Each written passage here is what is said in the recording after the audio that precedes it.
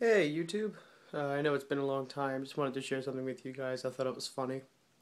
So, you know how in all the old cartoons and everything, you know, you always see the pirates have the parrots on their shoulders?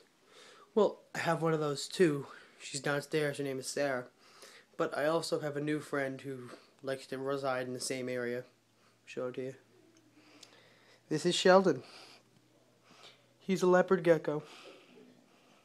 Say hello, Sheldon. For whatever reason, he's his favorite part to hang out at is on the back of people's necks. So he's just been cruising there. He's the newest addition to the family.